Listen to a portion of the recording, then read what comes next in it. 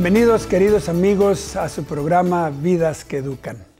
Ya saben que es un escenario, una plataforma en la cual podemos reflexionar acerca de nuestra vocación, acerca de nuestra misión, acerca de nuestras responsabilidades, acerca de la educación que hemos recibido y del propósito que tenemos en la vida. Dios tiene un plan para cada uno de nosotros y aunque a veces nos asaltan las dudas, si nosotros seguimos el plan de Dios, vamos a ir por los caminos de educación que necesitamos para servirle. Hoy tengo un invitado muy especial. Se trata de un pastor joven que ha aceptado grandes desafíos. Les invito a quedar con nosotros en este programa para conocer un poco más al pastor Misael Castañeda. Queda con nosotros.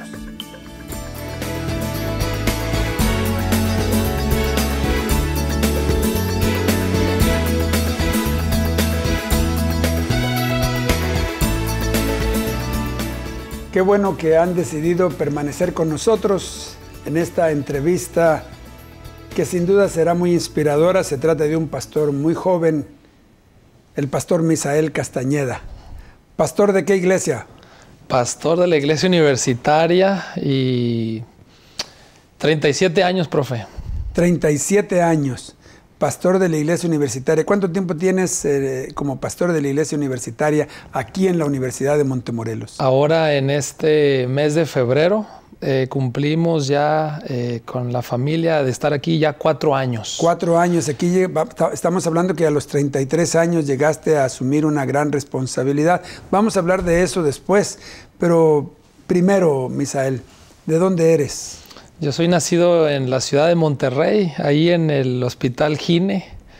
Este, aquí muy cerca y, claro. y mi esposa nació aquí en Montemorelos. ¿Y todo el tiempo, toda tu infancia y adolescencia se desarrolló en la Universidad de eh, decir, en la ciudad de Monterrey? Sí, ahí estudié en los colegios de la iglesia, asistí ahí a algunas iglesias en Monterrey hasta que vine a estudiar la universidad acá en Montemorelos. Fíjate que tuve el privilegio de conocer a tu papá, con el que establecimos una amistad porque coincidimos eh, en la época de estudiantes y también conocí a tus abuelitos, a los papás de tu papá.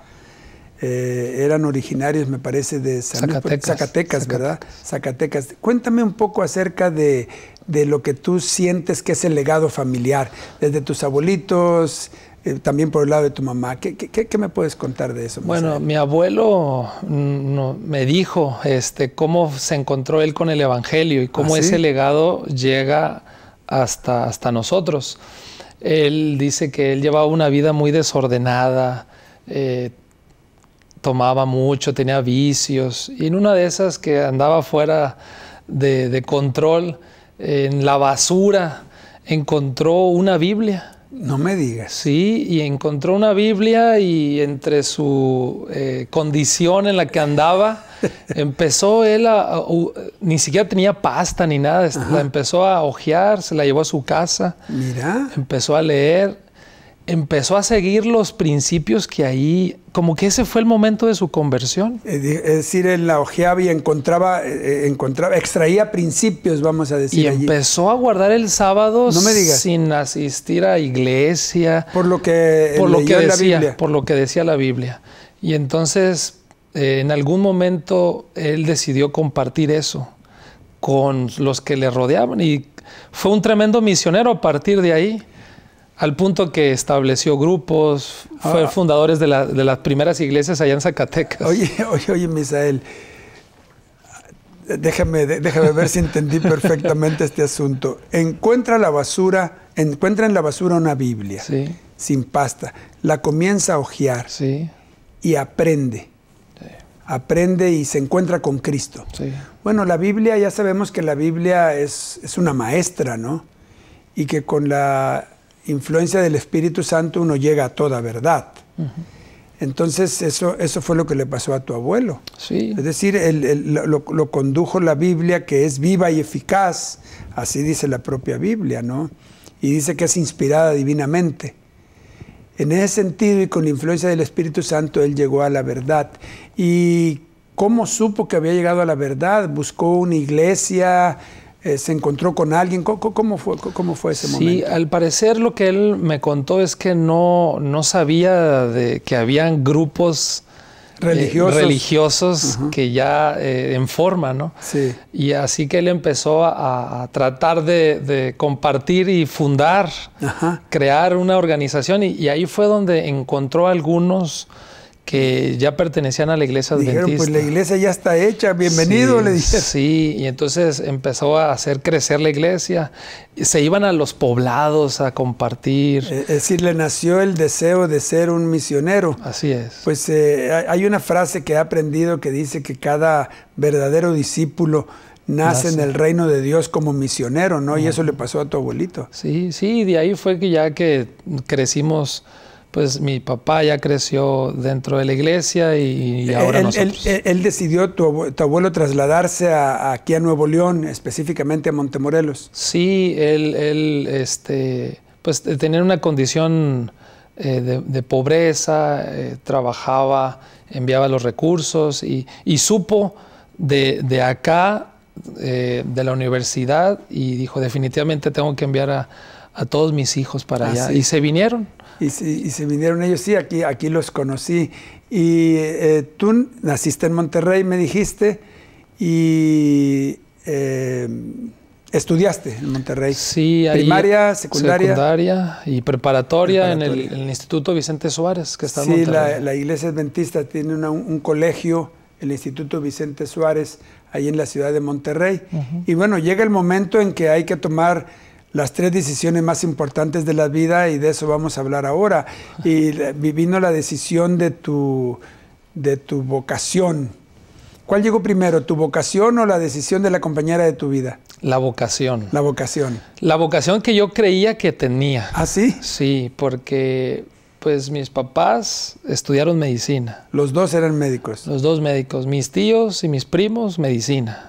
Y pues yo tenía muy claro lo que iba a hacer. Ajá. Este, tan es así que animé a mis compañeros a irnos a estudiar medicina. Ajá. Y lo, logré conseguir a un grupo para estudiar medicina. ¿Y dónde comenzaste tus estudios de medicina? Ahí en la Universidad Autónoma de Nuevo León. Ah, Estudié un año medicina. Ah, estudiaste un año medicina en la Universidad Autónoma de Nuevo León. ¿Te gustó la, carrera de medicina? Me imagino que sí, pues tenías en tu casa a tus, a tus padres, ¿no? Médicos. Y me iba bien. Este, eran materias difíciles, pero me estaba yendo muy bien. Pero es ahí donde yo tengo un encuentro con Dios, un llamado que Él me hace. Ah, eh, espérame un momentito, Misael, esto es muy interesante porque así son las vidas que educan, tienen un encuentro significativo con Dios. Y esto evidentemente le pasó al pastor Misael Castañeda. no se pierdan ese encuentro y los resultados. Vamos a regresar en unos momentos.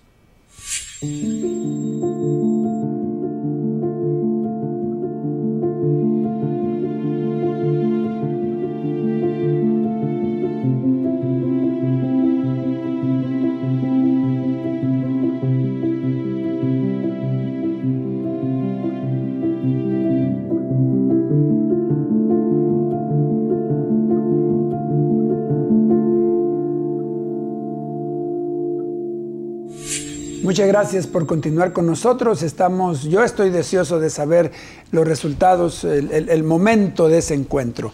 ¿Cómo, ¿Cómo, estudiando medicina en la Universidad Autónoma de Nuevo León, de repente dices que tienes un encuentro? Sí, con este, los compañeros de, estudio nos dimos cuenta que proveníamos de distintas eh, religiones distintas creencias. El grupo era numeroso, ¿no? Sí, éramos 50 en ese pequeño grupo, pero éramos 5.000 los que estábamos estudiando ese primer año. Uh.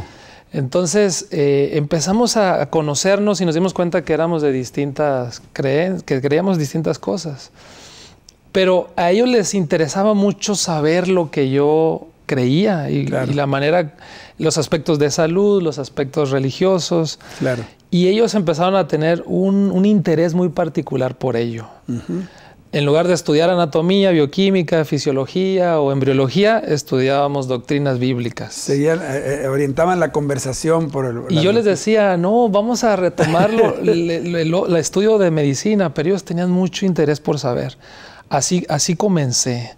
El grupo se fue haciendo grande, yo ya tenía, sin darme cuenta, un grupo ahí de estudio dentro de la universidad a tal punto que de ahí eh, hubo varios compañeros que entregaron su vida a Cristo. Mm, a través del bautismo. Todavía mantengo contacto con algunos de ellos. Mira qué interesante, eh, en, en, un campus universitario tan grande como el de la Autónoma de Nuevo León, tú tuviste oportunidad de compartir tu fe. Sí. Que hasta el día de hoy la mantienen tus compañeros, algunos de tus compañeros.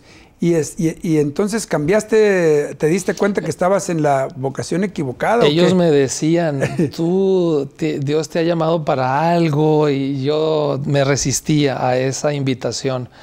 Entonces yo decía, bueno, a lo mejor lo que Dios quiere es que estudie en una, eh, en una universidad adventista.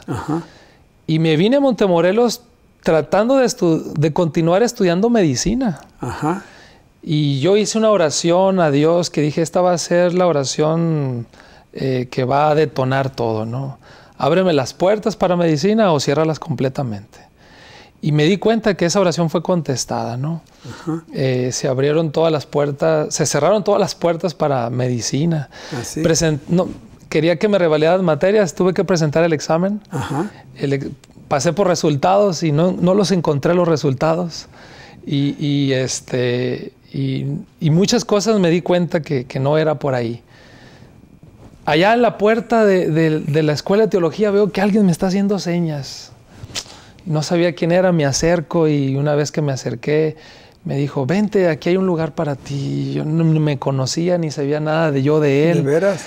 Y dije yo, me di cuenta, Dios está dirigiendo. Voy a pedir una beca de trabajo, a ver si me dan. Esa era como la... sí, sí, la señal. La señal. Y sí, va a haber una beca de trabajo para ti en carpintería. ¡Wow! El, el, la, el trabajo que Cristo tuvo en la tierra, ¿no? Sí. Y, y, quiero una beca de estudio. Sí, beca de estudio. Ah, sí. Así que ahí me di cuenta que Dios había dirigido todo. Debe abierto las puertas. Y me fue muy bien en el, en el estudio. Así que empezaste a estudiar teología y así, así encaminaste tu vocación hacia ser pastor. Y la otra decisión que es importante es la compañera de la vida. Sí, definitivamente. A mi querida y linda esposa la conocí ahí. Betsy, Betsy, sí, sí, la conocí ahí en la, en la... Bueno, crecimos en la misma iglesia. Ajá allá en Monterrey, desde pequeños y después de ahí en la, en la, escuela. ¿Estaban en la escuela, estaban juntos? Sí, empezamos a hacer muchas actividades cuando ella era presidenta de graduandos de secundaria y yo presidente de graduandos de preparatoria. Ah, sí. Hacíamos actividades en conjunto para los graduandos y cuando yo llegué aquí pues decidimos establecer una, una relación de noviazgo. ¿Te casaste luego, luego al terminar tus estudios de teología?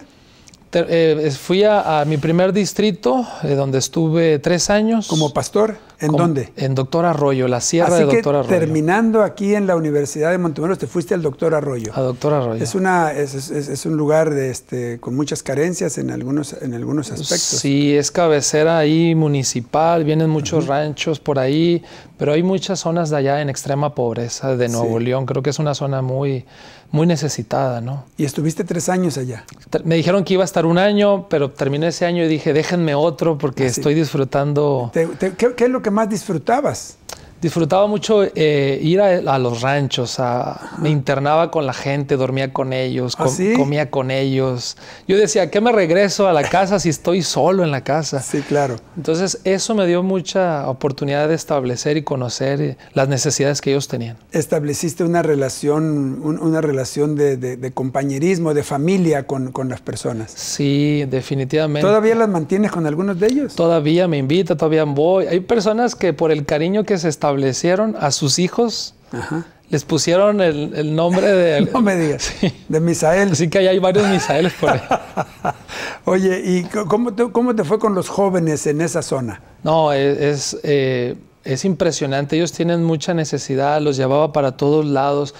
Los traíamos a los eventos que eran acá en Monterrey o Montemorelos y eventos de, de, los jóvenes, de jóvenes, de jóvenes adventistas. A tal punto que allá se comenzó a hacer, tuvimos nuestro propio eh, club de, jóvenes eh, en servicio a la comunidad, este y, bueno fue fue muy lindo. Al final me quedé tres años. Tres años. Que eso pudo lograr establecer eh, unas buenas eh, oportunidades de trabajar con los jóvenes. Y con los niños también. Sí. Con sus padres.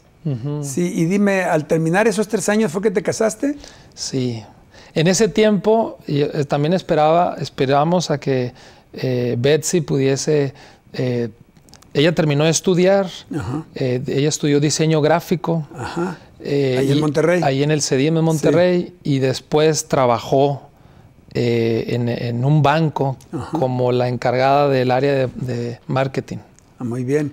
Y entonces ah, terminaste los tres años y decidieron casarse. Decidimos casarnos y de ahí nos fuimos al segundo distrito. ¿Y dónde fue tu segundo distrito? Piedras Negras, Coahuila. Fíjate, de, Doctor Arroyo a Piedras Negras con otro, con otro ambiente. ¿Cómo, cómo hace un pastor joven como tú para adaptarse a esas dos realidades?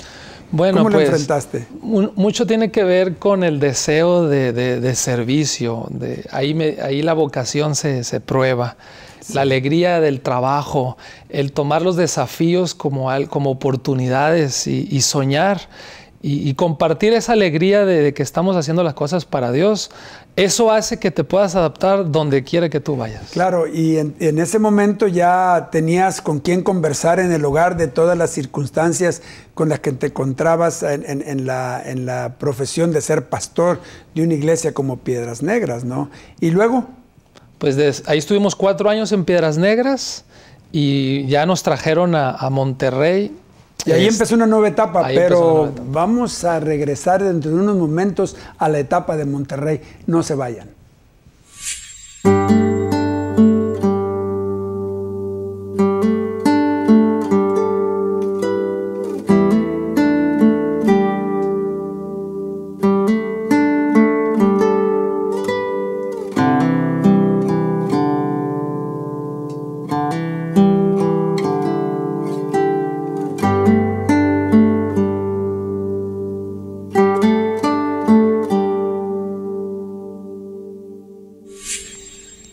Qué bueno que continúan con nosotros. Nos quedamos en la llegada a Monterrey. Y en Monterrey, una gran ciudad con otros desafíos.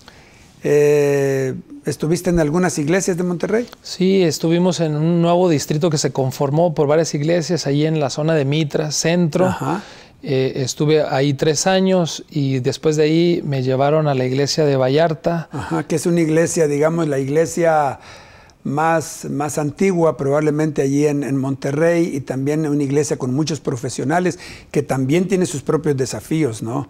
Y estando en Vallarta apareció en el horizonte Montemorelos. Así es, este, de, ahí, de ahí de Vallarta regresamos, venimos para acá, para Montemorelos, y, y recuerdo la primera vez que llegué, estaba... Eh, antes de que ustedes me presentaran ahí en la iglesia, me, puse en, la plataforma, estaba sola la iglesia, no había gente. Y trataba de imaginar el rostro de cada, de cada joven, de cada estudiante que, que estaría ahí y los desafíos que ellos tendrían por delante. ¿verdad? Claro. Ahora, eh, en tu relación con tu esposa, hijos, ¿cuántos tienen? Tenemos tres hijitos, el Misaelito, ahorita tiene ya ah, nueve años, está por cumplir nueve años. Sí. Este, y las dos chiquititas, eh, Betsy Kaeli y Dana Michelle, de, cuatro, y la chiquita va a cumplir ya tres años. Es que bárbaro, eh, qué, circunstancia, ¿no? Porque, porque tú estás eh, atendiendo a esa edad en tu hogar y a los jóvenes en la iglesia, ¿no? Sí, sí. Y lo hacemos juntos, este, en casa tratamos como familia de apoyar a todos nuestros jóvenes. Y, llegan muchos a la casa y platicamos con ellos. A veces mi esposa eh, les ayuda con los, con los planes que ellos tienen, las necesidades, y a veces yo también desde la iglesia, ¿verdad? En, en tu etapa de estudio de teología, ¿cuál fue la, el área que más te, te interesó? De la teología. De, estudiante, como estudiante. Eh, todo me parecía muy, eh, muy importante. Eh, pero me gustaba mucho la teología sistemática. El estudio de las doctrinas. Sí, me gustaba mucho eso y, ahora cuando me toca compartir algún mensaje, trato de que sea completamente bíblico, que sea, que sea el texto el que nos, nos enseñe, ¿verdad? Sí, claro. Es, es, muy importante el estudio de las doctrinas y la forma en que se, se fueron eh, formando, vamos a decir, a través de la historia, ¿no? A través del estudio que se hace de la Biblia. Y en el trabajo pastoral, Misael, que tiene muchos matices, ¿cuál fue el que más te, interesó? Bueno, eh, en cada lugar las condiciones son diferentes, pero por ejemplo, en, una iglesia como la que tenemos, donde tenemos jóvenes que vienen de distintos países, que tienen muchas necesidades, y de todas las regiones de México, ¿no? Y de todas las regiones de México. Eso lo hace muy especial. Entonces uno tiene que estar buscando constantemente eh, cómo llegar al corazón de, los jóvenes, cómo ayudarles.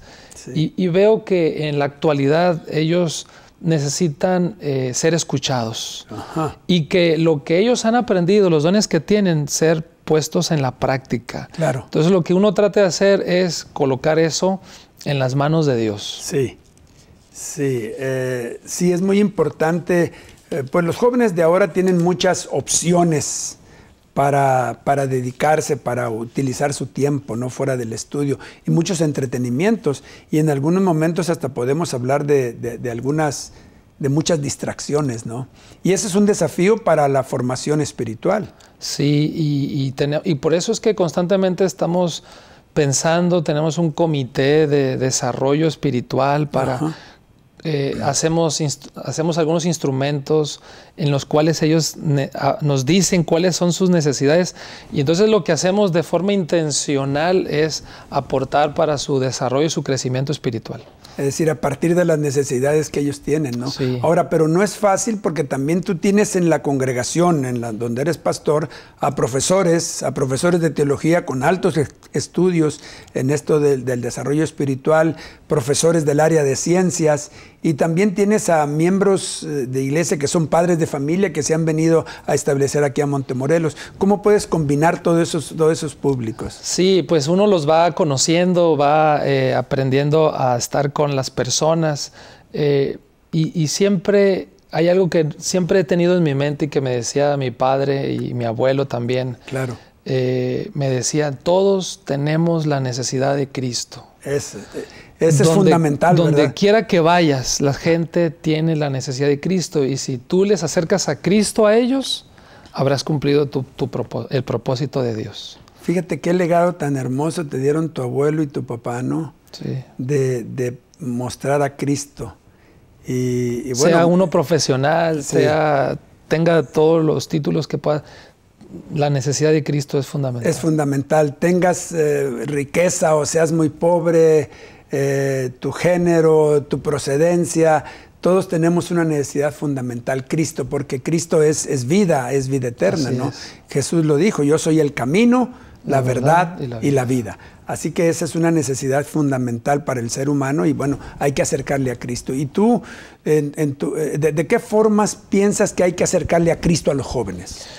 Bueno, una, una manera es de que ellos lo puedan tener esos hábitos devocionales. El desarrollo de los hábitos devocionales es fundamental para que, eh, y es significativo, porque esa relación tiene que ser una relación verdadera. Claro. Eh, legítima. Legítima, es una experiencia. Claro.